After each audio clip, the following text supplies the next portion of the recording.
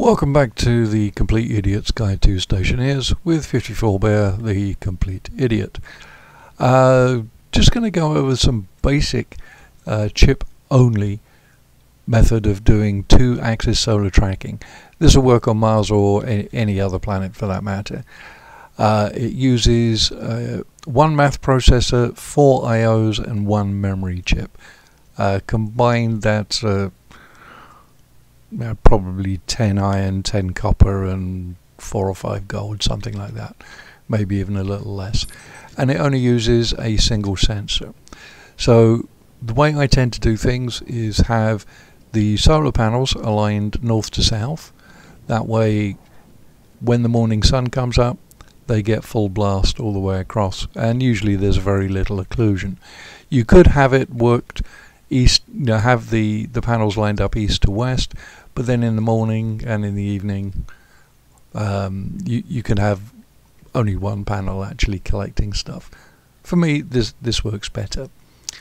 So I've got the data panels facing west. You see on the mouse pointer, I, I'm pointing east right now, and that's the direction that the power points or power port is is is going. I have the solar panel, sorry, the solar sensor point oriented to point towards the north and got it mounted flat here. And what we're doing is we're basically splitting it into two sections. So you have the logic reader. Logic reader's job is to read the input of a particular thing and uh, export one of the values of it. In this case it's looking at the daylight sensor and the option I've given it is to look at the horizontal value and when you point at it it'll tell you what that horizontal value is. The output from that goes directly into the batch writer. That means this batch writer, the only thing it can see is this particular logic reader. And the output type is going to the solar panels and the variable it's going to output to is the horizontal because we're reading the horizontal. And you'll notice I've actually labeled these because the way I've got it wired right now everything can see everything else pretty much. This is the other way of doing it if you didn't want to do that and it ends up being a little bit stupid with the way you have to route the wire around. But anyway, so that outputs the horizontal one. The second one, the logic reader, it's again reading the daylight sensor, the same one, and this one's grabbing the vertical. Now over here, this is where it gets the uh, little bit funky. We have a, a, memory unit which has got the value of 90 stored into it. You can store any value, any numeric value in in this that you wish. Um, what this does is it takes the logic memory, the value of 90, it subtracts the reading from the vertical reader, which is this one and that gives you a reading of at the moment minus 8 because the sun is just below the horizon there. It's just coming up. The output from this comes out the bottom goes into the batch reader. This is reading the logic math. Again this is the only thing that can see. It's outputting to the solar panels and it's outputting the vertical. And as you see our solar panels are pointing nicely at it. Now right now we won't get 100% or close to 100% efficiency because the sun is actually a little bit too low.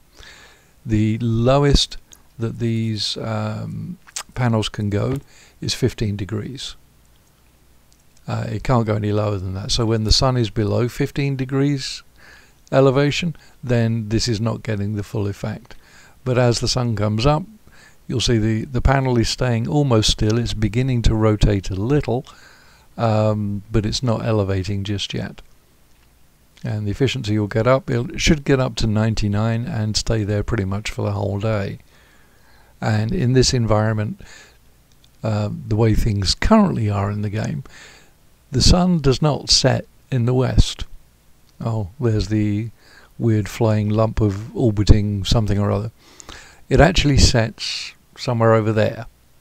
So it does like a, a quarter arc, which is kind of makes sense if you if you were to assume that you were in the northern hemisphere.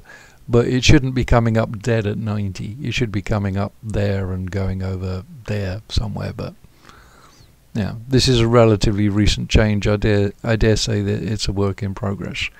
So now we're at 99% uh, efficiency. It stays there pretty much the whole way round. Yeah, I, I, tried another way of showing the uh, the wiring in a simple way, and it didn't really work. This was with the um, solar sensor mounted in this orientation, because sometimes that saves a bit of space. It does work. I mean, this is the output. It's going to the solar panel, and it's it's reading it exactly the same. So you're still working with the memory unit but now there are two math units that are accessing it. Again, you, you can simplify this by having, or simplify the placement by having this style of wiring where everything can see everything. But when you do that, you really do need to label the stuff, or alternatively, put the chips down where you want them to be, then temporarily route things so the output of, say, this logic reader is reading the solar sensor you would break the cable. Let's uh, move this out of the way and show, I'll show you what I mean.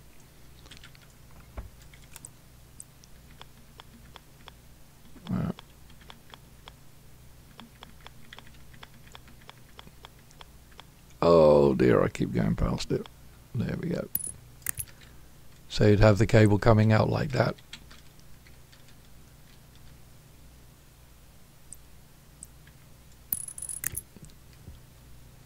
Whoops. Yeah. Until I didn't rehearse this. And you'd basically run the cable around directly to the sensor. So it was the only thing it could see. Then once that's all done, then you just connect it back.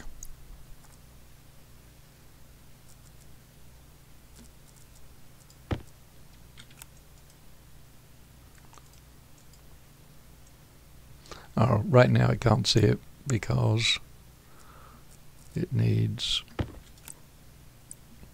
to be connected to the top bit. There we go.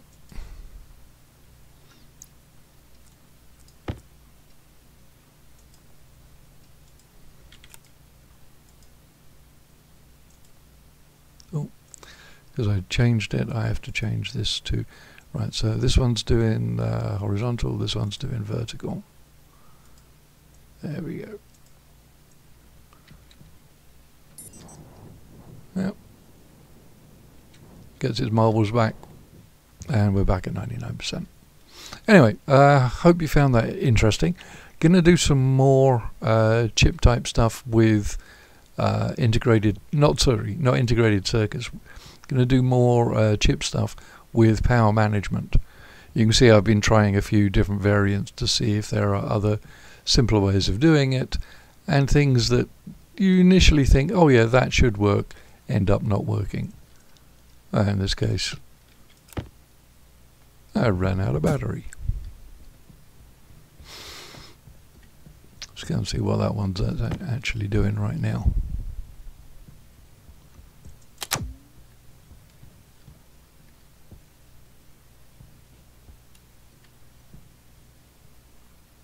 Now this was a, a simpler chip way of doing it. Um, oh, it's damaged. That's why it's not working. Okay, let's get some duct tape.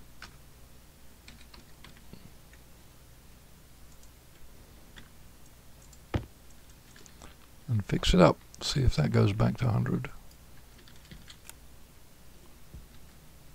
Yeah. So there are uh, other ways of doing it as well, depending on how you, this particular one uses two sensors, but it doesn't require any math. Sometimes this is a better way of doing it because this one does not require as much uh, power.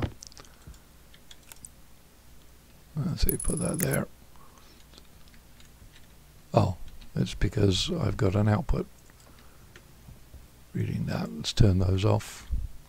So just for the tracking, that uses 30 watts. So in this particular environment I've got two uh, sensors in different orientations and that works uh, surprisingly well. So you can do it that way as well. So you've got one that's reading uh, one sensor. See, this is daylight sensor, that's sensor 2. So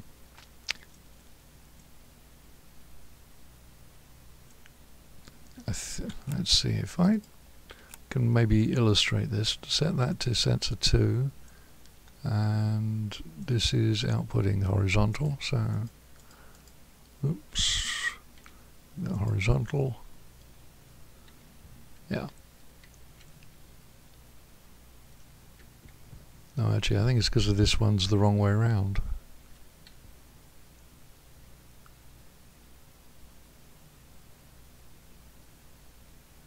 it's lost its mind Yeah, it's 90 degrees offset. That's why. Yeah, again, it all comes down to whi which orientation you're using in this particular one.